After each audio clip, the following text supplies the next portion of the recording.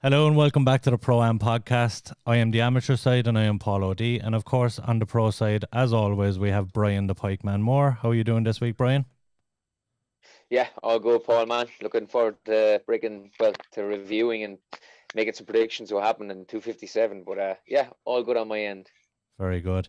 And of course, this week is a little bit different. We don't have any fights this week. So we are going to look back at that UFC 257 card and instead of giving normal fight predictions, we're going to predict who we see next for some of the big winners and some of the losers on that card. So, what did you make of the card overall?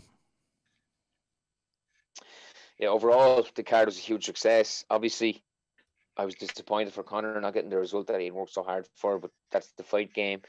But as a fan, you know, we got to see some tremendous fights both myself and yourself, we knew we, we spoke about it the last time about um, how the main event, how the co-main event, how exciting they were going to be, and they, they lived up to that. And the fights right down through the card were exceptional too. So, fight fans won for sure. Another successful card in the in the books. Yeah, and of course we have to look back at our predictions that we've made so far. Not going so well, Brian. Not going so well.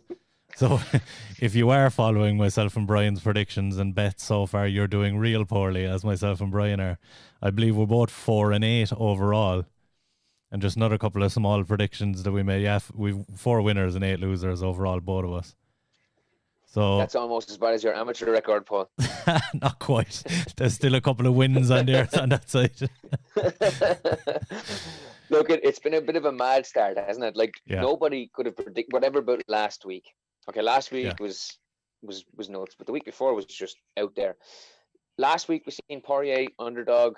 Many people are questioning why he was the underdog, but you know he came in and he, and he came in and got the great performance. You had Chandler, who I thought caused the upset. Many people didn't think was going to be the upset. We all knew it was going to be a close fight. And there was many factors how it could have played out, but yep. there were two huge wins. The, both men rose to the occasion and got the wins. But um, you know, yeah, look at it'll take. We'll once we get the ball rolling, Paul, we'll be. We, we'll get there. We'll, we'll definitely sure. get there. Yeah, yeah. I do. I do want to just nod to your uh, your main prediction last week, which I was believe that you said uh, Chandler and Hooker was going to be a contender for fight of the year. Maybe knockout of the year.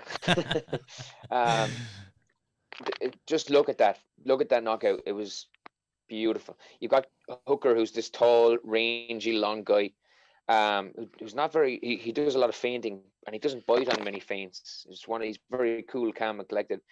Chandler, being this explosive athlete, kept level changing and kept throwing that right hand low to the body. The last combination, the one that landed, he threw that right hand to the body, but stepped forward, was shifting in with his left hook, and almost took the head off Dan Hooker. It was it was absolutely beautiful. But talk about a man who looked loose and confident in there on such a huge stage. You know, the pressure was on his shoulders, and he he rose to the occasion, and he he came home with the with the big win. Yeah, and I suppose look, we, we might as well start in the main event before we get into that fully. Um, mm. as you touched on, an absolute amazing performance by Dustin Poirier, and obviously both it con- connected somewhat with McGregor yourself being a teammate of him. It's a tough one to see for any Irish fan to see McGregor go out like that, first TKO loss.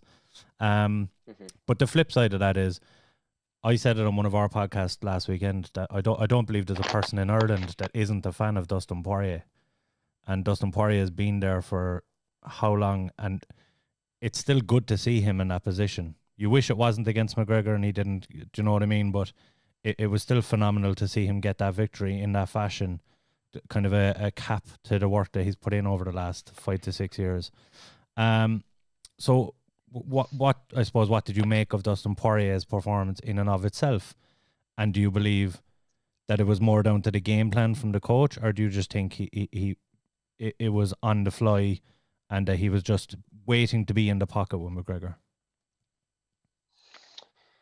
Yeah, well, look at going back to what you first said about uh, you know, people being happy for Dustin, the kind of the kind of man he is. He's a very charitable man. He's a very humble man he's been in there time and again. He's had his ups, he had his downs, and you know, he I know he won the interim belt and then he fell short against Khabib, and for him to pick up a win of this magnitude, you know, it couldn't happen to a, a better guy. Although he did, you know, beat Conor, who who's a uh, you know, he's Conor McGregor. He's he's he flies the flag for us so proudly. You know what I mean? So look, yeah. it's I'm not. I wouldn't say that I'm happy for Dustin because he beat Tina, but I, but I am in the same breath. He's yeah, exactly. He's a, he's an honest and, and good guy, a real fighter. So I, I I think you know if there's anyone in the division that should rise and, and not be Conor, it'll be him. But Conor will be back. Conor, we'll talk about that. Conor will be back. But in the sense of performance, I thought his his uh his game plan was was fantastic.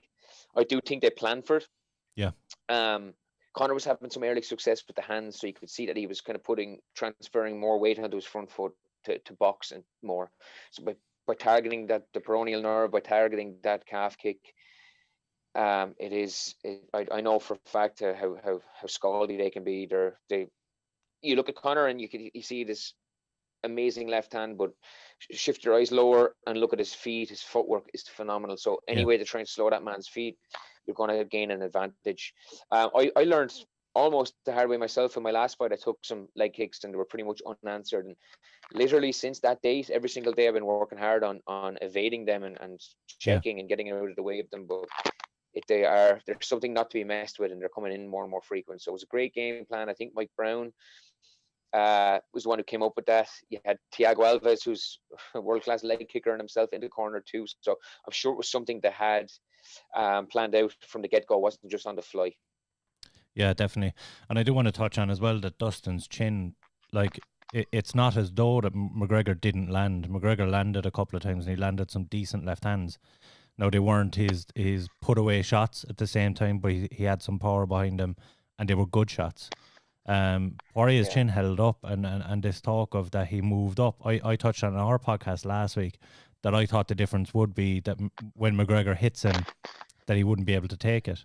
Um, perhaps mm. that 55 being his weight, he seemed far more capable and more comfortable taking that those few shots than he did in their first fight. Now uh, I know it's different; it was one shot, and it's where it hit him, and all, and there's other factors involved. But he did look far more comfortable under fire. Yeah, his his his cut to 145 was extreme, and I don't think he cut it the most intelligently back then either. But um, he does look more comfortable. His body looks better. His chin looks better. His performances are better. It's his weight class. Some guys do very well when they cut, others don't. We know what kind of a guy Poirier. Now, in saying that, when he's at 145, he was a beast as well. Yeah. Just 155 just is his own. Um, he is better there. Um, Conor did crack him. He did crack him, and it was just the, the knockout looked like it was coming. It looked like it was coming, and there was a couple of times where he had him hurt. Where I don't usually usually Conor's is uh, one of the best killer instincts in the game, and yeah, uh, he didn't seem like he pressed as much as he usually did. Maybe it was in his mind to try and drag the fight out that little bit longer, like he spoke about in the press conference, or maybe he didn't acknowledge they had hurt him. But um, yeah, I, that's why I'm so intrigued to see a rematch. I would love to see a rematch, but uh, yeah, his chin is better. It is better at, at 155 for for sure. I think what you mentioned there about not pressing it when he did have him a little bit hurt I think a, li- a little mm. bit of that was that was at a stage of the fight where his leg was already very much compromised, and and maybe his movement was hindered at that point, and moving on, moving forward with the punches. He normally flows forward with punches. I think he was hindered at that point. Maybe that's the reason that we didn't see the same killer instinct out of him. Perhaps, and that that could well be the reason. More than likely, is the reason. Those calf kicks they don't look like much. They, yeah. I guarantee there was many people who looked at that fight that didn't really acknowledge what was going on. As in, ah, that's only a kick. It's only a calf kick. It's only a leg kick. But trust me, I'd per- I'd probably prefer to get a punch straight in the nose than take one of those calf kicks. They are not to be messed with, and they they can change your game plan all of a sudden. Instead of taking that step in and your distance is off and your shot is gone, and they're not to be messed with. You're going to see a lot more people throwing them. They're they're already coming be, becoming more popular, but in a fight of that magnitude, when it yeah. did affect one of the greatest fighters of all time. You're going to see it being thrown a hell of a lot more. Yeah, and definitely. that should be something people are practicing and avoiding too. A hundred percent. Um, I, I I'm going to push you. I suppose our picks of the week, as we as we said, are going to be who we see that uh, uh, certain fighters fighting next. So for your first pick of the week, it's Dustin Poirier versus who? And the big question here, of course, is is it for the lightweight title? you know, it's so funny because if someone was to give me your what's your dream job, I would say matchmaker. I'd love yeah. to be a matchmaker. Do you know what I mean? It's just, well, right now I probably would not like to be a matchmaker because there's too many there's too many choices. Yeah, yeah. Um, it's like that, that's a good problem and, to have for the see, UFC, though. That's a great problem to have for the UFC. Like you look at Poirier, what makes sense? Okay, Charles Oliveira had an outstanding performance. He's on a tear. He's been in the UFC for for a long, long time.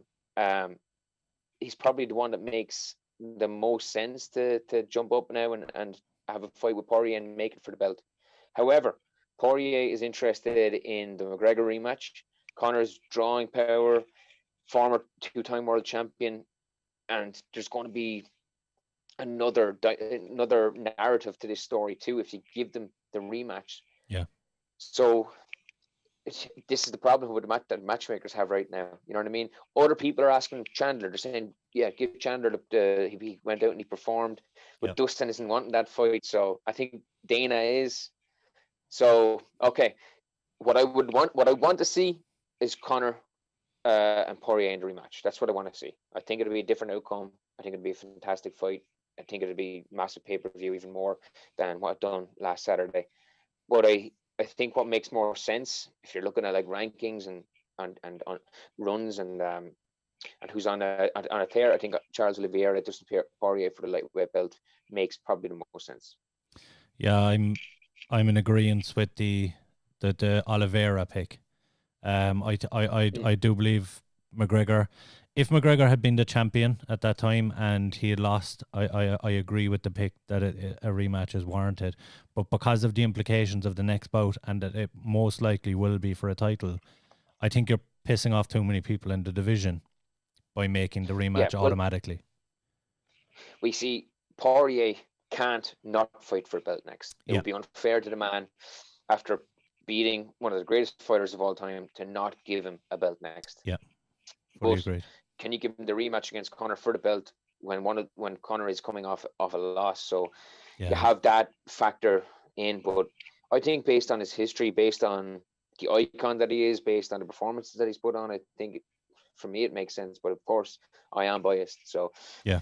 But um, if you're looking at the people, the the the performances as, as of late, Charles Oliveira blew, blew, me away with his performance against Tony Ferguson. So yeah. Ferguson, I'm sorry, Oliveira versus Poirier for the lightweight belt makes all the sense in the world to me right now.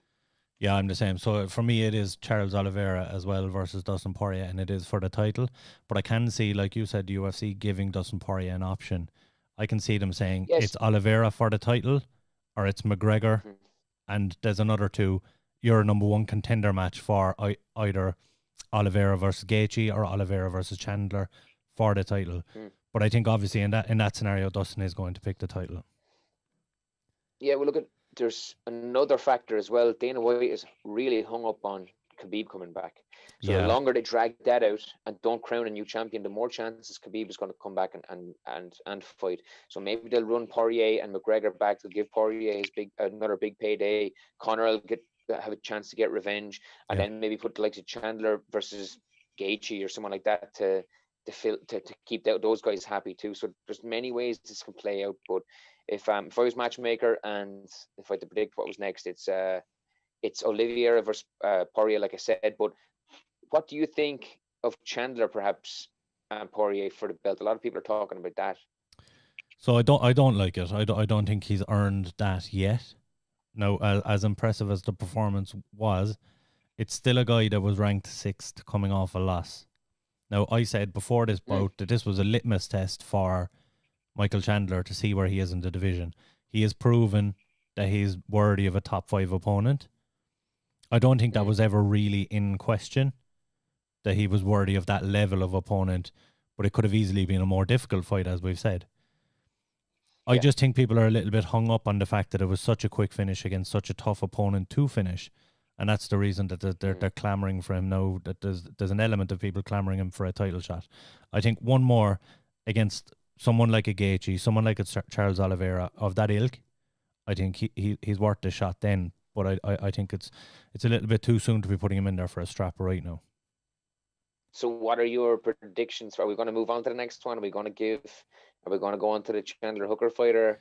Do you want to keep? Do you want to? No, we'll, we'll go. We'll go with the winners. We'll go with Char- uh, with Chandler next. Who who do you see next for okay. Chandler, and, and and what do you make of his performance? First off, I suppose. Okay, phenomenal performance. Like I said, like I broke down his knockout, but his what really impressed me about him is that man could came in with the weight on his shoulders. He's coming over from Bellator you know, there's always the question of uh, of how would a Bellator champ get on in the UFC, and he showed what you know uh, how the promotions are neck and neck. Um, but the weight was on his shoulders coming in. There was a lot of uh, hype behind him, and he was put in against a, a, a boogeyman, for, for all the want of a better phrase, in in Dan Hooker. But yeah. what impressed me was his performance and how loose he was. He looked so calm, so relaxed in there. He looked like he was sparring, but with intent. Um, and like I said, the way he was changing levels, the way he was moving, he, there was he was he was flowing, and the knockout was just beautiful. It was. I, am I'm, I'm sure they, they they had thought and had planned out that shot. Yeah. But again, just look at the execution of where his right foot lands as he's thrown that left hook. It's it's something else. And you're talking against the guy Hooker, who was who sees this small, stocky, athletic guy who's probably wondering about the takedown, and he comes upstairs with a left hook. But Hooker's a world class striker, and to get to get to get a knockout over Hooker, I know you're talking about he's number six. Hooker's ranked six and coming off a loss. Yeah. But can't remember the last time Hooker's been finished in that kind of style before. He's only uh, been finished so. once before. That was Edson Barboza. Yeah, yeah, that was a good fight. Yeah, so he really, you know, kicked down the doors with that uh, with that performance, and I think based on that performance, he deserves a hell of a fight next. Yeah. So I know who I want him to fight next. Who I'd love to see him fight next. But what do you what do you make of his performance uh, before we do that? Yeah, I, I look there. There aren't enough superlatives to describe his performance. It was almost perfect, um, and to get him out of there that quickly as well. There's a lot of emphasis on a finish, but to go out and smoke mm. a guy that is very hard and very hard to get to so quickly, kind of shows the attitude he's coming in with as well, and he's kind of backing up all the talk because he has come in quite mm. vocal into the promotion. But for me, what what what kind of won him favor on on the card was everything about his performance, obviously, but outside of that, the walk in, the and when he grabbed the mic, although it was very WWE and and and I it just makes me kind of um squeamish or something. I don't know. There's something about that kind of cringe. For, cringe. Yeah, yeah I know. it's it's forced and it's a little bit, but at the same time, he mentioned Con- Conor, he mentioned Dustin, and he mentioned Khabib. He called out the main three. Like he could have easily gone in and, and shouted shit at Conor and shouted shit at Khabib and missed a massive opportunity, but he didn't do that. I just think he sold himself very well on the mic, and there's been a lot of talk about that after the fact, and this is maybe the reason that there's more of a push than there would be for him to get a title shot. But I think he did everything right. Yes. Go on. I, I think you're dead right, and I think the WWE has called out, but I'm pretty sure Chael Sonnen said this before. Uh, if I if maybe my memory is a little bit fucked, but when you get the opportunity to call someone, you call one person out. You don't call three people out because it gets mixed. You know, when you when you put your target on one guy's back, um, and you and you know it, it's it doesn't get diluted. It doesn't get it, you have that focus on one person, and the narrative is then there yeah. for yeah. people to cling to. But he's mentioning like fighter A, fighter B, fighter C, and people are now wanting to see him fighting fighter A, B, and C rather than just either fighting the champ, fighting the big money fight, which is Conor. You yeah. know, so you know, I don't think he was a missed opportunity. I thought done, like you said, he promoted himself fantastically. Yeah. He, you know, lead up to the fight, post fight, and the performance. And I'm all about performance, and that was just phenomenal. Yeah. So I'd love to see him in a big fight next, and quick. I'd like to see a quick turnaround too. Yeah. The one thing I would say though about calling out three people, and normally I would completely agree with you, is this is one of the few scenarios where there's a lot of unknowns there. It was just before the Conor Dustin fight. So if he'd have called out the wrong person, he shoots himself in yeah. the foot. And you have Khabib mm. hanging around there with a massive question mark.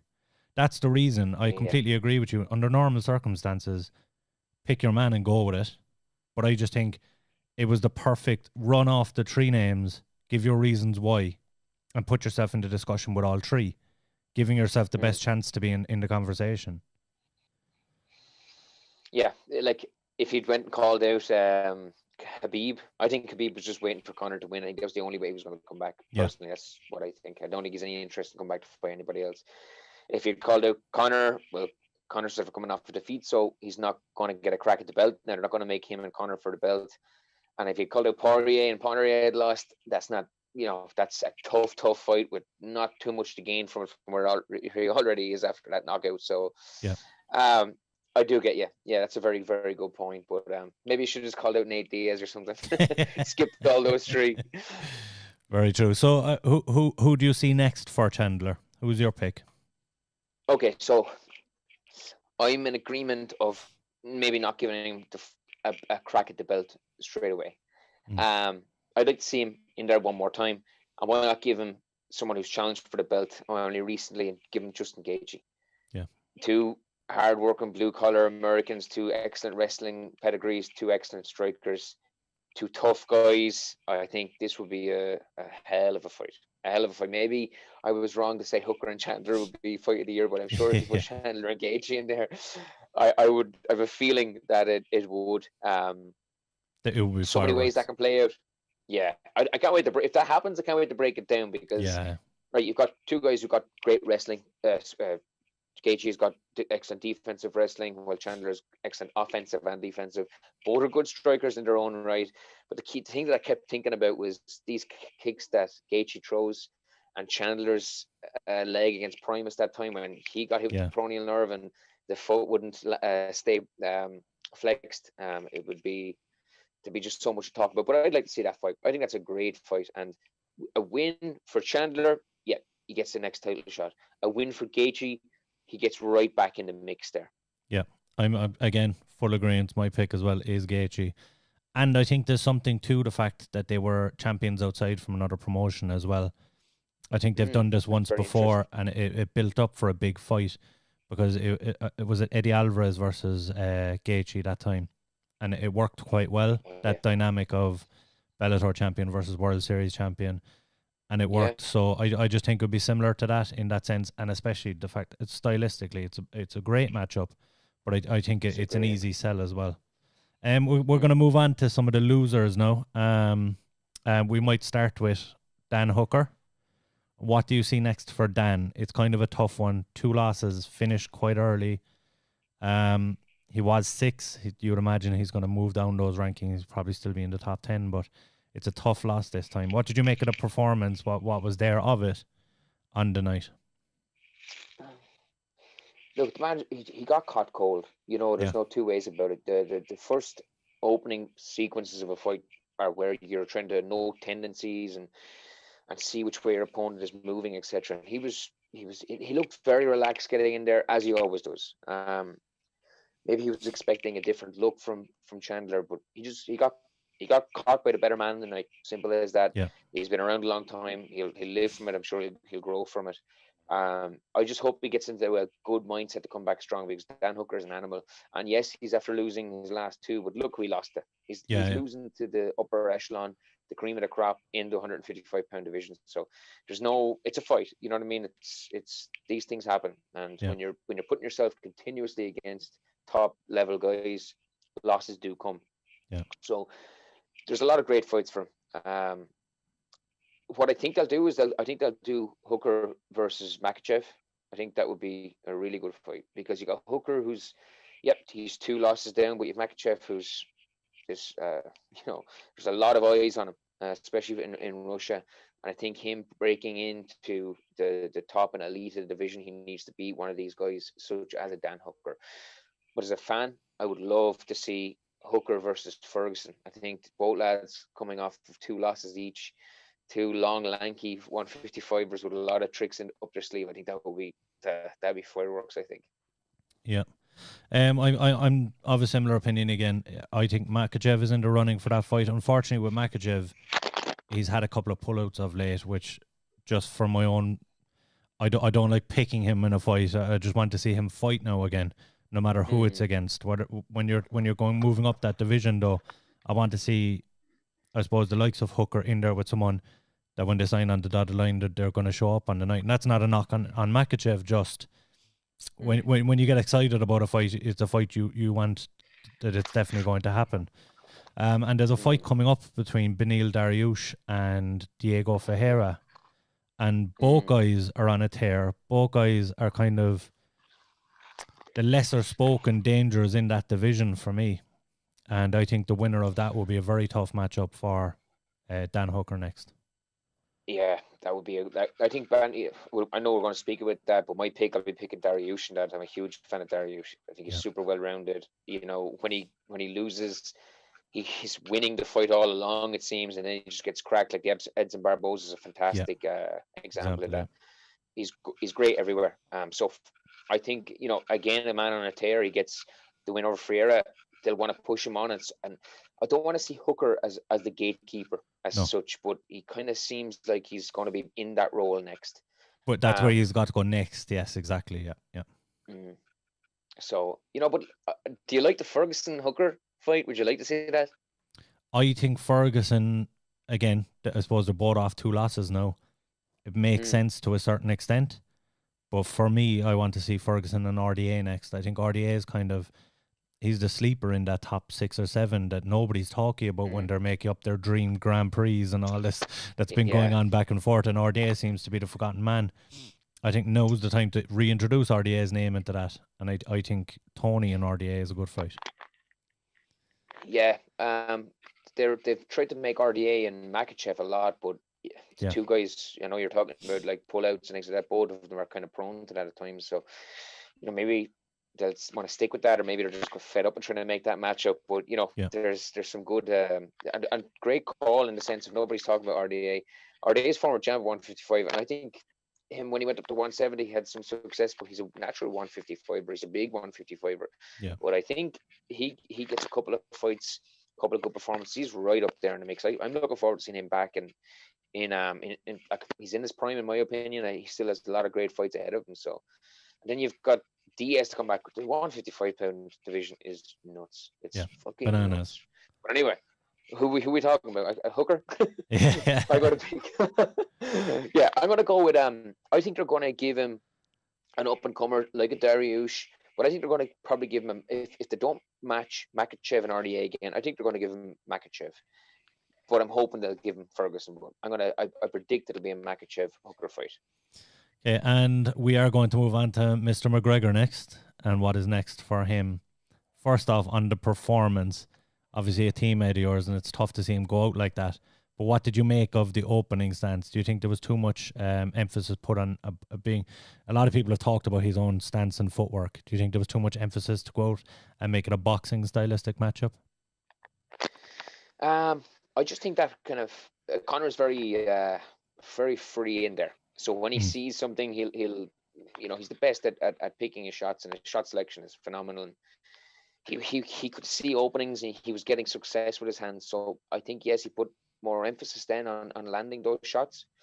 And beforehand, he was talking about like uh, sitting down on his punches more. And in order to sit down on your punches, you got to be a bit more rooted to the floor. So I think that forward that that his um his uh, weight been on that front foot, looking for them power shots was uh, was probably you know there more so than regular fights where he was spinning a lot and throwing his kicks. So, but I thought it was a great performance. He looked very very good in there. It's just those calf kicks they are debilitating. They they really wear on a on a guy and um. But trust me, he'll he'll learn he'll learn from that. He's excellent at at, uh, at evaluating his, his wins and his losses. So I remember he had this um I can't remember who he fought. Oh, Buchinger, one of my yeah. favorite knockouts of all time. And I remember he took it he took uh that was when he became double champ, wasn't it? Yes, it was. Yeah. And this highlight reel knockout, unbelievable. But he was uh remember I think it was John that was telling me that he got hit with a he got hit with a jab in that fight. One jab and it was in his head for like weeks after evaluating it and you yeah, know breaking it down. So you can bet your ass that he's going to be working really hard on on um leg avoiding those leg kicks from now on and, and working on that. But um, you know, I thought it was great. It was a good performance right up till he couldn't get that leg going again. I, am looking forward to whoever he's fighting. Yeah. I'm looking forward to seeing a a, a read, um, you know, refreshed and ready to go again. Conor, I think he like his preparation was phenomenal. He was in a great yeah. mindset. Everybody was excited for it. Just the performance didn't match the where we wanted him to get. But you know, for his ne- who who do you think he's going to get next? Who do you think they're going to match him up with? And what do you think of his performance? Um, for me, next before I get into the performance, I I think it has to be Diaz.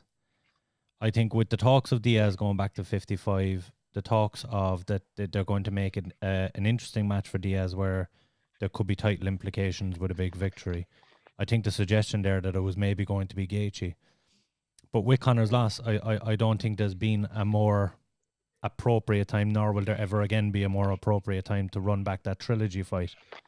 Um, so I, I just see it being Diaz next. As for the performance, I, I do think being being uh, inactive has played a factor a little bit. I know, like you say, it, it he has been his camp was probably the best one he's had in a long, long time. But I, I think when you're going in against a fighter, and I saw a stat recently that Conor McGregor's had 40 seconds in the octagon since uh, since his fight against Khabib, and in that time, mm. Dustin Poirier has had 18 minutes of octagon time, and there's just a phenomenal chasm of difference there. So not that I'm, not I, that McGregor's ever going to be. Sorry. I thought it would have been longer. So Poirier didn't he not do 25 with? Hooker? 80, 80. 80. Yeah. Oh, sorry, I heard you wrong. Yeah, 80, 80, minutes. Wow. Yeah, so it's a wow. huge difference. And I do think that plays a factor. Not that Conor's ever going to be uncomfortable in there, but I, I just think the first time how he caught Dustin was because he made him uncomfortable from the get go. This time, I don't, I don't think he was going to go in there, and I don't think there's anything he could say pre fight or anything he could do in the first minute that was going to make Dustin uncomfortable in there. I thought Dustin was very uncomfortable. I thought he looked very uncomfortable uh, in stages. He mm. was backpedaling, which was part of his game plan, yes. But there were shots where he was, or feints where he was flinching. He looked uncomfortable from the get go. But I think Dustin, and he says this himself, uh, that he hates every bit about fighting except for the fight itself. Yeah. So you know that these things build up. But I think that every shot that he landed, every leg kick that he landed, his confidence just built and built and built and built. And then he went back to doing what he does probably better than anyone uh, in mixed martial arts is that technical brawling style of his is of hooks and rolls, and he's so good at it. He's he's a an excellent killer instinct, and you know he's had it since day one. And when he, he when he knew that he had Conor Hurp that leg kick, he, he really applied that pressure and, and and put him away. Yeah, it's a uh, it's it was a tough it was a tough one to watch, but I I'm, I'm more confident than, than ever of how how well he'll bounce back. But I hope it's not against Diaz. I'm probably the only one who thinks this, but I don't want it because I'd love to see Conor bounce back quick. I'd love to see him in yeah. there in the next, you know, couple of months. And yeah. I think, you know, you have Diaz, and I love Diaz. He's, you know, uh, what what a man, what a fighter, etc. But this is something that's going to drag on. You know what. I mean? Contract negotiations and certain terms and all that will take forever to come around, in my opinion. Um, okay. It just seems that way for me as a teammate, but also as a fan. I want to see him back in there straight away. I'd love to see a rematch, but yeah. maybe they won't give him the rematch. But give him Gaethje. They've been talking. You know, Gaethje's been running his mouth, and I think Conor. I Conor. I just think for a man who gets hit so much, uh, Justin, I think gets knocked out very quick. Yeah. Um, I'd like to see that fight. I think Tony Ferguson and Conor will be a good fight. They've had back and forwards, and they've they've had history there as well. There's loads of great fights to give them.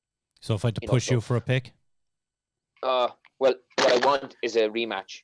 What I want is a rematch with um with with uh with with Dustin. Poirier, but yeah, but uh, you know the way t- I would have said someone like Diaz. I would have said Diaz, but the way things are kind of unfolding, I wouldn't be surprised to see a Gaethje fight. But I'm going to go as a as a prediction with with Conor Diaz three. Perfect. And just before we let you go, we are going to pick one fighter each from the the rest of the card, assess their performance a little bit, and give a quick pick on who we believe will be next for them. For me, the standout performance outside of the main and the co-main event was Marina Rodriguez in the strawweight division, moving up to number six, and Amanda Ribas was a a, a, hot, a hot contender in that division. Pardon the, the the pun there with the hot, but um she was she, she, was a contender in that division, but the momentum here now goes to Rodriguez, and you would hope that even though she's ranked six, she'd be getting somewhere close to a number one contender fight next. Now we know that mm. Weili is either fighting Rose Namajunas if she'll take the fight or Carla Esparza if she doesn't. So uh, uh, I imagine the two of those are kind of waiting out to see what's next. I would actually like to see Marina Rodriguez go in there against Yan Xiaonan in a kind of a, a mm. contender fight there. It'd be a great fight on the feet. I just think uh, I think it'd be a good one to see next. Who who do you think yeah. next for Rodriguez? I don't know. Like with a performance like that, you know, when I look at the the strawweight division, um, you can't look past those that number one, uh, one, two, and three spots. They're they're mm. absolutely exceptional, and you can see those three just battling out like a. Uh, like um, just we've had say in the heavyweight division the minute in boxing, you've got Fury, you've got Wilder, and uh, Joshua. You know yeah. those three, you can see them fighting loads and loads. And in the in the past, you would have had like um, uh, the Tommy Hearns, th- those three guys. But like with these three, you could see them fighting it again and again. And like maybe Rodriguez and Waterson. I know Waterson is ranked below, but yeah. she's a big name. Um, and uh, Waterson's coming off a win, isn't she? Off, off against Hill last, is that correct? Angela Hill, yes. Uh, I think I, I I'm not sure on this now, but I think Waterson might be matched. I can't be hundred oh. percent though. Yeah, well, look at even though Marina Rodriguez she is ranked above Waterson, um, you can see it being someone like Waterson, yeah. Yeah, because right in regarding skill versus skill, like it's she's she's phenomenal. She showed what she's all about, but Waterson is a name, and I think maybe beating a name rather than someone that's maybe uh that's you know on par in regard to skill level, I think might do more for her profile and getting a, a and getting a belt yeah. and getting a crack for a belt. Um, yeah, so look, it's a very very good division. It's a very, it's one of the most exciting divisions, you know, and. Uh, look, to be honest, the, the Weili Zhang, uh, Joanna and, and uh, Rose, the, the, three of them, even if you had if you if you wiped the rest of the division out and had those three fight again and again and again, you're going you're going to have a you're still going to be entertained. So yeah. Absolutely. So it's great to see like Marina Rodriguez making huge steps and, and making that climb. So, but yeah, look at when I look at it, you've, you've Claudia Gadelha below her. That'd be you know one to, to watch as well. Yeah. But she's she's having to go back down after her last performance in regard to rankings. Now I don't give too much of a shade about rankings. So yeah, if I had to pick one for, I'd like to see Michelle Waterson and her battle it out. Perfect. And for your pick on who you, you think looked impressive on the card and who you would give next for them. Yeah, I was very ha- I was very um, impressed with Joanne Calderwood. We spoke on the podcast about her, you know, letting letting it go. Yeah. Um, at times, maybe her performances, um, she it looked like she held back a little bit. Yep. And in this one, she didn't. You know, she done everything bar get the get the finish. I know it, it, she it was a great contest. You know, Jessica Eye done phenomenal as well. You have to have two people in it to make it a good fight. But I thought Joanne was very much in control. Um, her striking looked very good, very loose. Her conditioning looked great because that was a high intense, high intense fight. Um, and her takedown defense looked excellent as well. Uh, yeah. But she let it go, Paul. You know what I mean? She wasn't too cagey. She was throwing lots of unorthodox techniques again. She was she was she was mixing it up. So I was really happy to see her get getting the win. And I'd like to see her. I'd like to see her taking a big step up. Um, I don't find that the the flyweight division is as stacked as the strawweight division. You know, yeah. but she is ranked sixth. Um, I know she has lost to uh, Shuk. Oh, I'm so bad at pronouncing her name. Chookagian. Chookagian yeah, Chookagian. She's lost to Chookagian, so like a rematch there.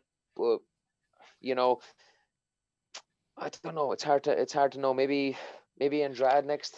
I know yeah. it's a big jump, but uh, like I think she went out. Uh, she didn't get the finish, but she went out and she really put it on all the line, put it on the line, and those kind of performances deserve uh, big rewards. I think a, a, a rank number one or two next for JoJo would be a, a great move. Well, well, who would you like to see her fight next? Yeah, for me, so I, I think it actually benefits JoJo that the division isn't the strongest because I hope that they're not going to make the same mistake they made with the 135 pound division. Because if you go back, there was two contenders there coming through in the 35 division. The names have gone out of my head now, this will tell you. But they had two contenders coming through, and the two of them on the same card fought against Holly Holm and Germaine de Randamie, respectively. And of course, Holly Holm and Germaine Randamie won. And they were the last two mm. people to fight Nunes at that time at 35. So they essentially, on one card, wiped out their contenders, and all that was left at 35 was a rematch. That's the reason we've seen Nunes mm. fight at, at 45 last, and she's fighting at 45 again coming up. So I'm hoping they don't make the mm. same mistake at 25. And what I can see happening is Jojo versus Lauren Murphy. Lauren Mm. Murphy is ranked number four because I, I reckon it's uh, uh, Jessica Andrade is fighting Three. Valentina next. And the winner Yeah. of Lauren Murphy versus Jojo has a serious argument then for to be fighting for the title. Yeah. That's a great call. I 'Cause- changed my mind actually. Because Jennifer Maia and. Chookagian have already fought for the belt. Yes. It just makes sense. Yeah. Yeah. And people un- unless it's um it's unless it's a title fight where it was damn close or there was there was almost an upset. People don't want to see it. They're not they're not married to a rematch very quickly. And either are Yeah. matchmakers. Yeah, gotta look at like um every time you lose a fight or every time I've you know won a fight, I've been asked to rematch. And every time I've lost a fight, I've asked to rematch. And Yeah, yeah. matchmakers are like, yeah, yeah, we'll do that, and then they don't give a bollocks about doing that anything. they just want to see next, the next step, the next step. So, Yeah. you know, I'm sure it's the same in that division. But yeah, you're right. You don't want to wipe out too many contenders too soon. You want to keep the the interest, the, the division interesting. So, and I just think Calderwood with the performance deserves a big shot now. Maybe leapfrog two or three spots. And actually, when I look at it, Lauren Murphy, that would be a great. Lauren Murphy's ranked three, Yeah. so that would be a, a great fight. A great fight. Let's let's see how Shevchenko and Andrade how that plays out, and then you have is the next one waiting in the wings then from the winner of uh, Calderwood and Murphy. So makes all the sense in the world, Paul.